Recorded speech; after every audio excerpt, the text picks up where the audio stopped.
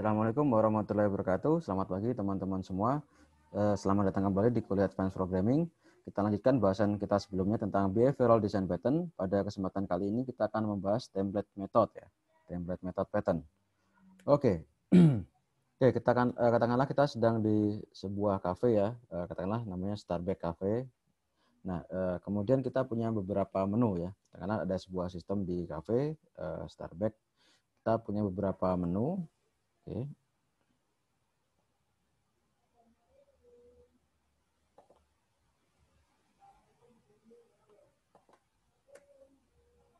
Oke.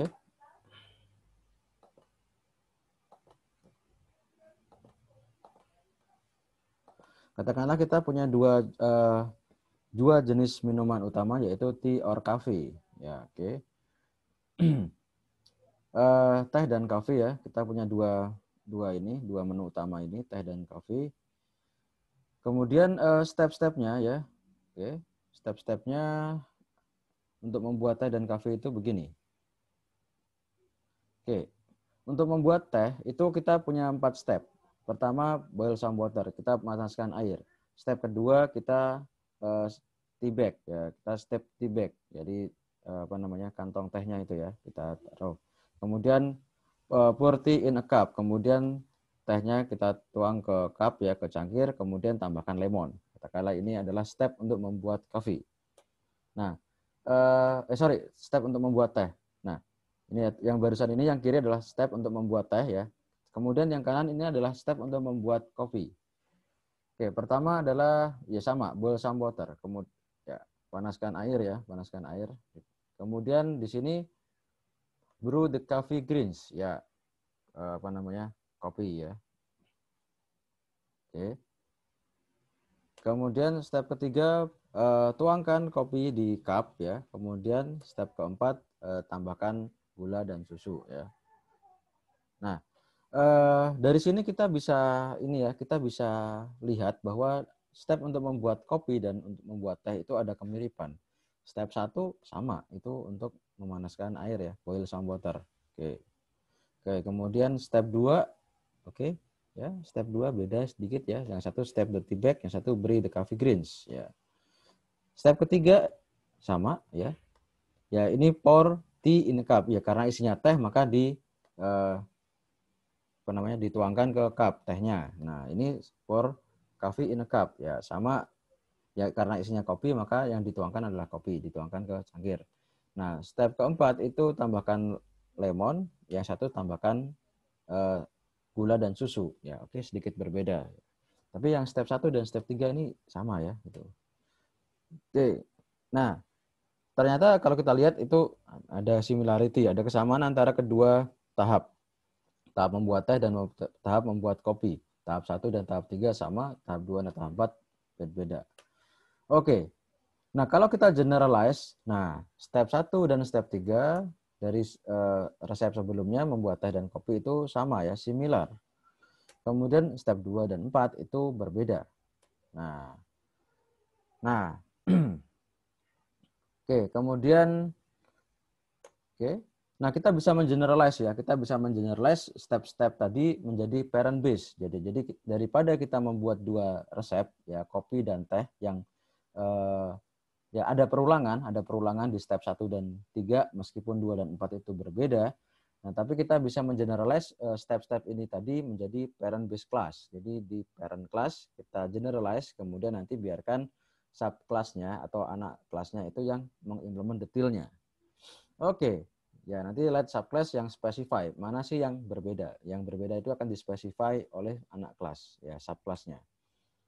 Nah, kita bisa buat desainnya begini ya. Daripada kita membuat dua konkret kelas langsung yang ada kemiripan, nah kita mending kita jadikan ya kita push ya kemiripan tadi ke parent class. Kita push ke parent class ya.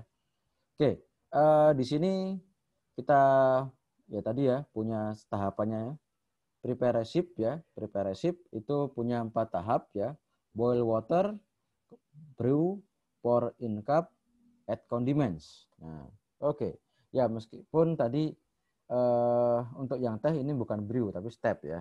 Oke. Okay. Ya, tapi boil water, pour in cup sama. Oke. Okay. Add condiments tadi yang satu uh, yang di teh tadi menambahkan lemon ya, yang satu menambahkan gula dan susu. Oke, tapi ya sama intinya kondimen ya, intinya kondimen yang nomor empat. Oke, yang dua oke, yang yang yang kedua memang berbeda yang satu step, yang satu brew ya, tapi is. Okay. Nah kemudian eh, satu sama tiga literally sama gitu ya. Ya pur sama pur. Ya cuma karena isinya teh sama kopi beda ya di sini beda, tapi stepnya sama. Ya. Oke. nah dengan demikian kita bisa desain ya satu sama tiga ini karena sudah sama langsung kita implement saja di parent class ya di parent class langsung kita implement saja. Oke, okay. uh, boil water implement langsung, pour in cup, pour in cup implementasi langsung. Nah sedangkan yang berbeda yang step 2 dan 4 brew dan add condiments karena tadi berbeda maka kita buat abstract class. Nah, nah jadi kita bisa uh, push ya dua resep ini ke parent class ya, di mana dua sudah langsung diimplement di situ, tinggal yang detailnya saja, yang dua dan empat yang berbeda tadi itu yang diimplement masing-masing subclass atau kelas anak gitu ya. Nah, itulah template method pattern. Ya, kita mendefine skeleton of algorithm ya in a method differing some step to subclasses. Nah, jadi kita sudah membuat skeletonnya, sebuah kerangka umumnya. Ya, tadi ada empat ya boil, kemudian uh, brew, kemudian pour, kemudian add condiments. Nah, itu sudah di-define di parent class. Nah, kemudian yang uh, apa namanya yang sudah sama itu langsung diimplement ya. Step 1 dan step 3 tadi boil sama pour itu sudah sama langsung diimplement. Sedangkan step 2 dan 4 karena tadi berbeda, nah itu tuh di defer atau ditunda implementasinya di subclass. Jadi biarkan subclassnya yang implementasi yang berbeda. Nah, di parent class itu dibuat abstrak saja. Nah, nanti biar detailnya di implement uh, subclass. Oke. Okay. Nah, jadi gini, let subclass define certain step on algorithm. Jadi beberapa step di algoritma tadi ya, di kerangka umum tadi di define uh, detailnya oleh subclass, oke. Okay.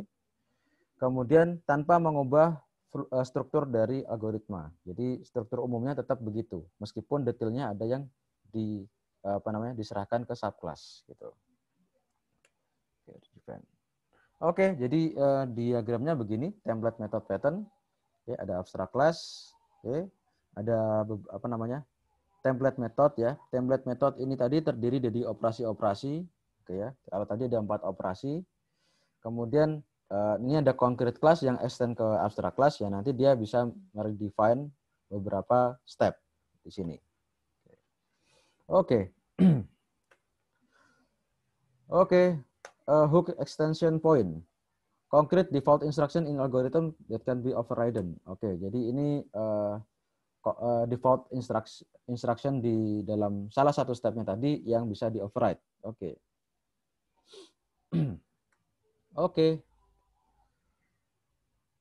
Oke. Okay. Desain prinsipal yang dicapai dari ini, dari template method adalah Hollywood principle, don't call us, we'll call you. Jadi uh, maksudnya uh, Hollywood principle, uh, don't call us, we'll call you, artinya high level komponen itu yang akan memanggil lower komponen, bukan lower komponen atau low level komponen yang memanggil high level komponen. Jadi Hollywood principle, jadi bos yang manggil anak buah, bukan anak buah yang uh, manggil bos gitu ya high level komponen yang memanggil low level komponen, bukan sebaliknya. Low level komponen memanggil high level komponen. Oke. Oke, kemudian contoh lain ya, contoh lain untuk di template method ini ada di tree ya. Oke. Tree traversal, oke. Oke, uh, visit ya. Oke. Tree traversal di SDA silahkan recall kembali. Itu kan ada yang uh, apa namanya? uh, visitnya ada yang macam-macam ya. Oke. Oke. Oke, ada yang left dulu. Ya, ada left dulu baru right gitu ya. Oke. Oke. Traverse right. Oke. Ya, ini ya.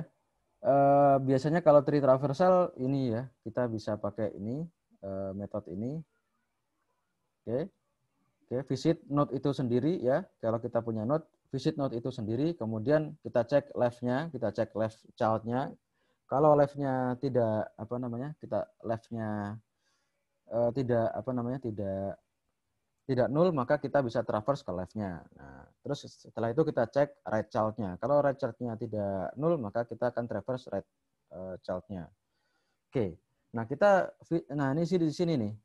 Nah, ini kan kerangka umumnya begini ya. Jadi visit node itu sendiri, kemudian visit uh, left child, kemudian visit right child. Nah, nah permasalahannya untuk visit sendiri ya. Oke. Nah, nah visit sendiri kita bisa punya variasi ya. Oke, ada yang pre-order, ada yang post-order. Nah, oke. Oke, nah, nah visiting di dalam uh, apa namanya tree itu kan ada macam-macam ya. Oke. Kalau nggak salah ada pre-order dan post-order traversal kalau saya ingat ya. Nanti teman-teman ingat lagi. Nah, jadi visit sendiri itu kita bisa implementasi di dengan beberapa beberapa versi. Ada pre-order, ada post-order misalnya ya. Nah, tetapi untuk kerangka umumnya masih sama, yaitu visit node itu sendiri, kemudian left child, kemudian right child. Gitu ya. Oke. Oke, mungkin untuk uh, template method begitu dulu ya. Oke, untuk metode template method begitu dulu. Nanti kita lanjutkan ke state pattern. Uh, untuk penjelasan video kali ini saya cukupkan sekian dulu. Oke, terima kasih atas perhatiannya. Eh, selamat pagi. Assalamualaikum warahmatullahi wabarakatuh.